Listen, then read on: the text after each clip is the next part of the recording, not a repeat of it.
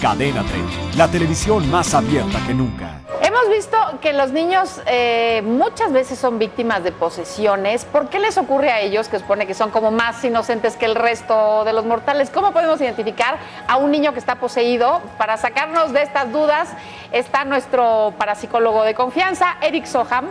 Bienvenido, maestro Soham. Martita, buenos días. Buenos días, Soham, buenos días. Eh, tema interesante con respecto a la posesión de los niños. Primero me gustaría aclarar qué es lo que posee, qué es una posesión. Que una energía ajena, exógena, extraña, eh, entre en, en, el sistema, en el cuerpo de una persona y tome el comando de las acciones, de los pensamientos, de los movimientos. Eso es una posesión.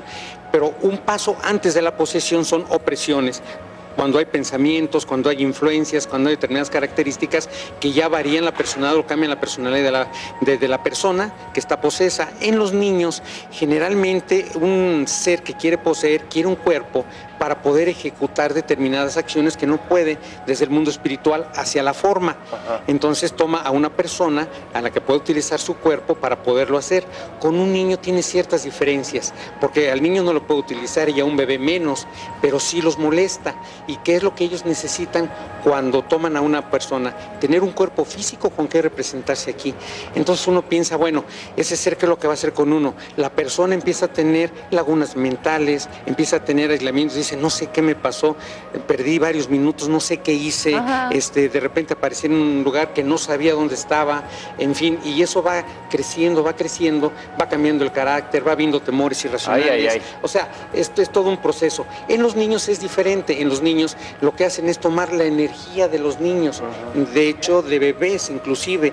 Eh, hay ocasiones en que tú ves un niño y dices, bueno, ¿cómo sé que este niño está poseído Mira, o tiene una energía exógena? esta imagen de la profecía, ¿no? Ah, de la profecía, que exactamente, es un de Omen. de, cine. Demian, claro, ve esta sí. también. ¡Qué maravilla! ¿Cómo da- dan miedo más en las películas una imagen de un niño poseído que de un adulto poseído, verdad? Sí, ¿Cómo da Sí, sí, porque sí. tienen esta, esta cualidad de, de ser medio angelicales, ¿no? Pero Y de repente te, y de repente te lo cambian. Entonces es impresionante. Pero ¿por qué los niños, eh, por qué en ellos? Porque son más fáciles de, de que un adulto de, de Por- porque tienes poseer. Mira, del tienen, ¿no? tienen su energía más limpia y de hecho, eh, ¿qué es lo que provoca la posesión? Que la persona se vuelva empática al ser que la va a poseer y los niños generalmente ni tienen malicia, ni tienen eh, cuestiones que sean de Esta es maldad la de intrínsecas. Sin embargo, No, cuando es la están... Demian todavía. No, todo es La Demian, sí, cuando tira la mamá. todavía. Sí, esta y es Esta otra. está increíble. ¿Esta de qué es la niña? ¿Quién sabe? Una película de los 50. Sí, ¿Qué efect- tan común Ay, díganme es que para buscarla, que está? Sí. padrísima. ¿Qué tan En, los que niños no es muy común, porque lo que hacen los seres que, que poseen a estos niños es quitarles su energía y alterar su personalidad. ¿Cómo nos podemos Mira, dar cuenta? exorcista, Aquí está el sí. ¿Cómo nos podemos dar cuenta si un niño está poseído? Porque es muy llorón, porque es agresivo, porque no puede dormir bien, no come bien, y entonces entra en estados de ansiedad y en estados eh, agresivos y de desequilibrio notables. Y los llevan al médico, el médico los ve, les ven que están bien, que sus signos estén funcionando correctamente, normales, pero siguen con esa agresividad y con esa alteración. ¿Cómo O nos puede, podemos ser, dar cuenta? o puede ser, doctor, simplemente que, que suceda como en las películas, que el niño de plano no te puedas explicar como un niño de 5 o 6 años sea súper malora.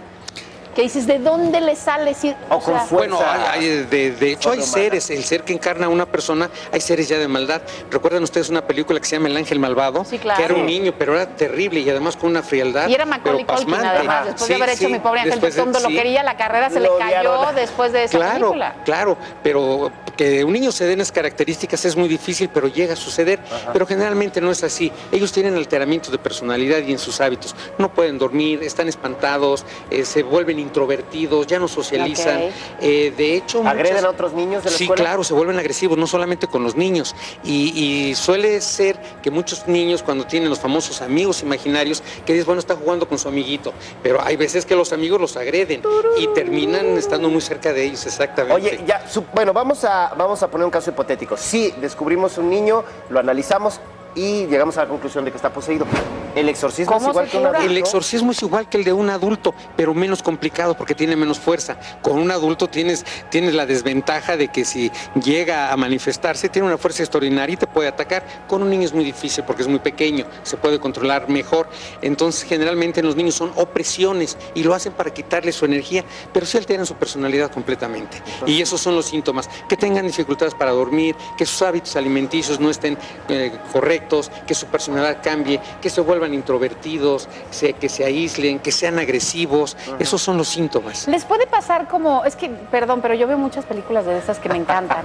Les puede pasar que a través de los juguetes, eh, ¿Algún juguete no sé, algún juguete diabólico, luego se les transmite a ellos o alguna cosa, les Bueno, influya. bueno de, de- de hecho eso es común que los seres utilicen, por ejemplo, cuadros de pinturas, objetos que tenemos en la casa, Ajá. como alguna figura de algo, se meten en esos objetos. y por supuesto en los raros, juguetes, o- por supuesto en los juguetes. Te- te- tuve yo el caso de una persona que me dice, mi hijo tenía un muñequito que le compré con un tambor, dice, ya me tenía hasta acá. Entonces le quité las pilas y se cayó, dije, mañana se las quito, se me olvidó, como a la semana otra vez. Ese día sí me levanté, lo bajé, dice, no tenía pilas, y se sentí horrible. Entonces eso llega a suceder, que tomen los juguetes, sí. De hecho hay muñecas que se mueven y todas estas cosas que son buenas. Alejarlo de los niños para Al- prevenir Claro, todo hay que estar al pendiente santo. solamente. Muchas gracias, maestro Soham. Ya vimos entonces qué es lo que hay que hacer. Y ahora Observar sí, esos señora, síntomas. si su hijo es berrinchudo, si su hijo no quiere comer y no quiere dormir, no se asuste. Probablemente no esté poseído, solamente es como el mío, muy berrinchudo. Así gracias, es, maestro sí, Soham. René. Martita. Gracias. Hola, soy Marta Figueroa. Los invito a que vean nuestro día y a que se suscriban a nuestro canal de YouTube.